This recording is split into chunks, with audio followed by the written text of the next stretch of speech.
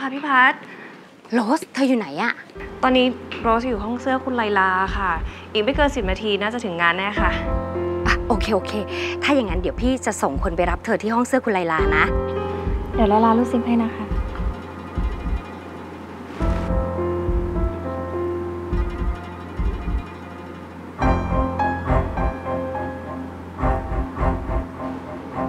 วันนี้ไลลาตื่นเต้นมาก ๆ เลยนะคะ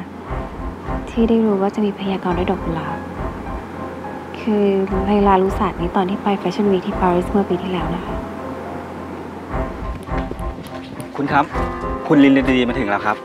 อะถ้าอย่างนั้นนะพาไปเจอกันในที่รุดข้างหลัง สแตนบายได้เลย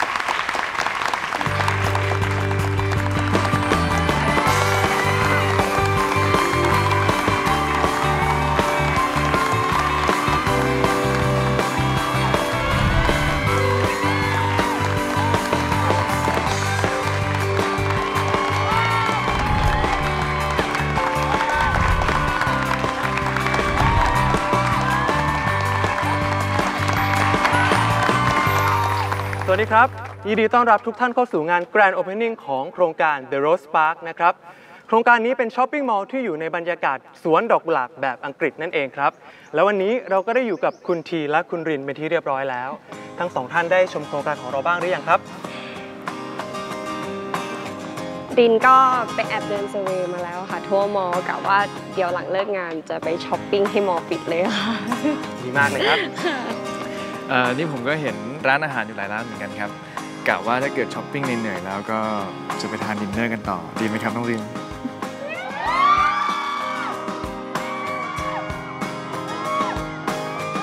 โครงการ The Rose Park นี่นะครับ เป็นโครงการที่นำเสนอไลฟ์สไตล์และการช้อปปิ้งในรูปแบบของสวนดอกกุหลาบ ดังนั้นไฮไลท์ในวันนี้นะครับ ซึ่งเกี่ยวกับดอกกุหลาบ และแขกรับเชิญทั้งสองท่านนี้ครับ อ้าวไหนๆมีใครอยากรู้บ้างไหมครับว่า คู่จิ้นทีรินจะเป็นคู่จริงในอนาคตหรือเปล่า อยากรู้ไหมครับรู้ไหมเอ่ยตัวพี่ทีอยู่ในงานนี้ด้วย นี่อวยชัยมันกลับมาแล้วเหรอโอ้ยไม่ใช่ ถ้าเกิดว่าอยากรู้แล้วเดี๋ยวเราขอเชิญคนที่สามารถตอบคำถามนี้ขึ้นมาบนเวทีดีกว่าครับ ขอเชิญคุณโรสิตานะครับ ผู้สืบทอดศาสตร์พยากรณ์กุหลาบอันลี้ลับด้วยครับ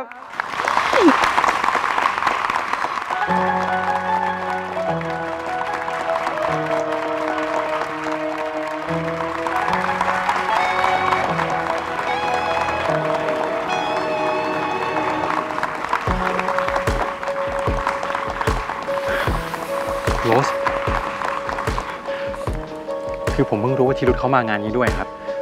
ถ้าคุณไม่โอเคเนี่ยเรากลับกันตอนนี้ได้เลยนะเดี๋ยวผมเคลียร์เอง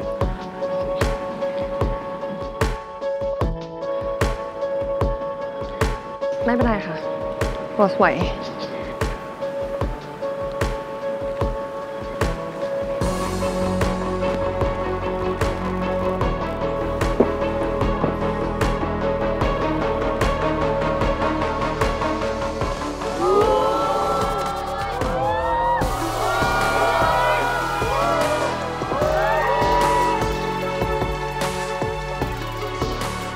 เสียงปรบมือต้อนรับคุณโรสิตาอีกครั้งหนึ่งครับ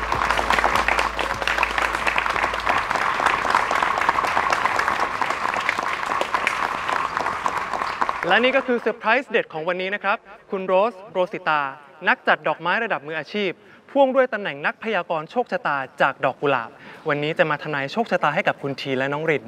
น้องรินพร้อมไหมครับ พร้อมค่ะ คือรินได้ยินชื่อเสียงของคุณโรสมานานแล้วนะคะ แล้วคุณทีล่ะครับ ถ้าเกิดว่าคุณทีรุธไม่พร้อมเนี่ย ก็ไม่เป็นไรนะคะ ผมพร้อมครับ ครับ ถ้าเกิดว่าทุกคนพร้อมแล้วนะครับ ขอเชิญคุณโรสทำนายโชคชะตาได้เลยครับเดี๋ยวก่อนนะครับทำนายผมกับรินนี่มันจะไม่ง่ายไปหน่อยเหรอครับ แค่เข้าอินเทอร์เน็ตก็หาข้อมูลได้แล้ว ถ้าคิดว่าแม่นจริง ทำไมไม่เชิญแขกผู้มีเกียรติในงานมาร่วมสนุกด้วยล่ะ ทุกคนว่าดีไหมครับ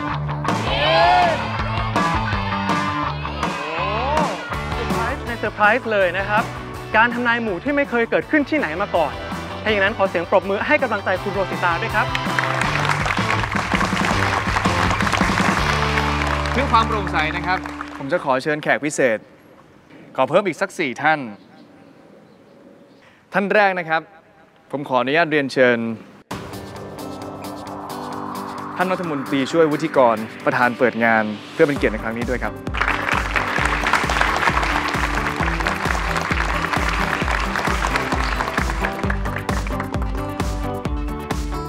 และท่านที่สองนะครับ ผมขอเรียนเชิญ นักธุรกิจชื่อดัง ผู้ใหญ่ใจดีที่เชิญผมมาในงานนี้ แล้วก็เป็นเจ้าของ The Rose Park คุณธนาพลครับ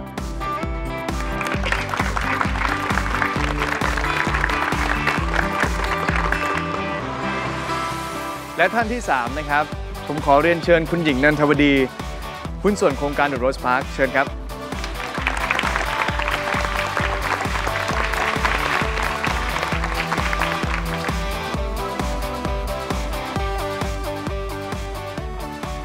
และท่านสุดท้ายนะครับ ผมขอเรียนเชิญคุณไลลาดีไซเนอร์ชื่อดังครับ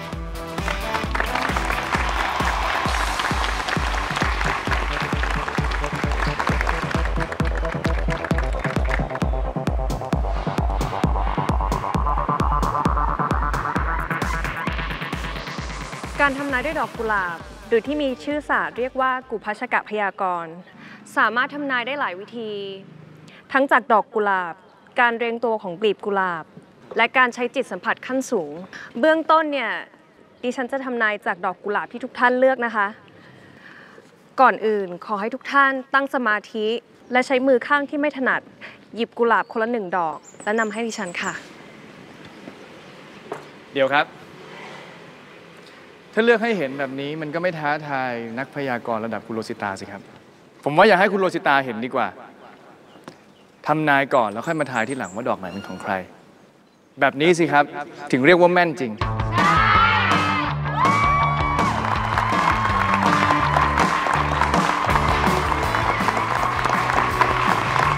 ขอบคุณนะคะที่นำเสนอความท้าทายมาให้ดิฉัน เอาเป็นว่า ดิฉันจะปิดตาในระหว่างที่ทุกท่านเลือกดอกกุหลาบ หวังว่าคงจะไม่มีใครทวงอะไรแล้วนะคะ